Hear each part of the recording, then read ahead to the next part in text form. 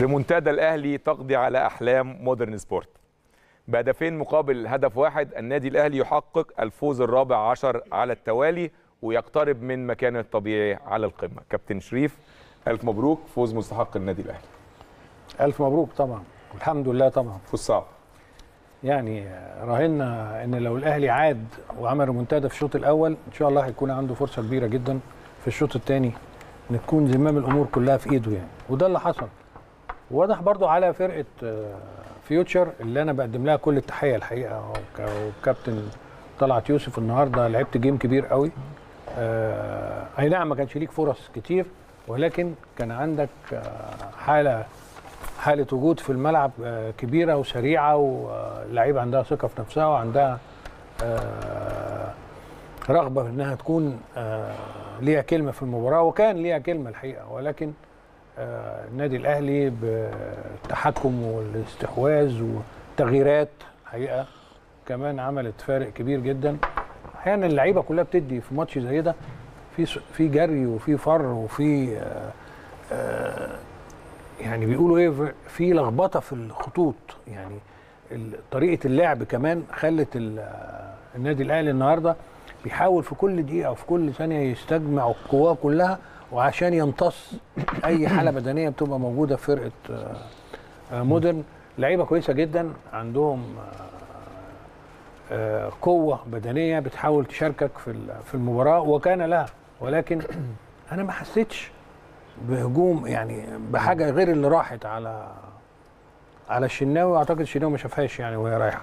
يعني حتى لفت من رجل الراجل في آخر ال- المرمى يعني. ده ما يمنعش إن هو برضو يعني كان المفروض يكون واقف في نص الجول أحسن من كده يعني. إنما استفادة كبيرة جدا. اولا الثلاث نقاط اللي خدناهم دول. أنا مش عايز أقاطع خدت بالك؟ المباراة دي بالنسبة لي أنا على الأقل آه، نص ال- الرحلة. المباراة دي مش أنا النهارده موقفي كام ولا الفوز ال 14 على التوالي لأ.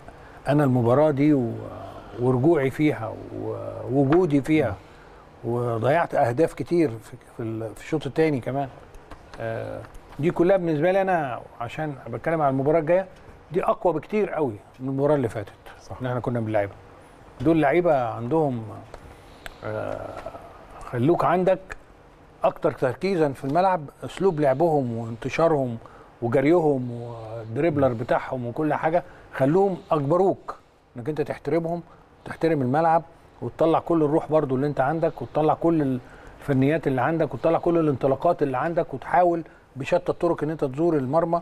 ومن الضربات فاكر إحنا كنا بنتكلم عن الضربات الثابتة؟ الضربات الثابتة كان ليها كورتين. الضربات الثابتة كورتين كورة من أول time من آه، إمام الإمام. وبيرسي. وبيرسي. كل الناس مشغولة بمحمد عبد المنعم وقدر بيرسي يسرق في خط الستة ويسأل عن الهدف ده. كل فرقة مودرن بالحارس بكله يعني.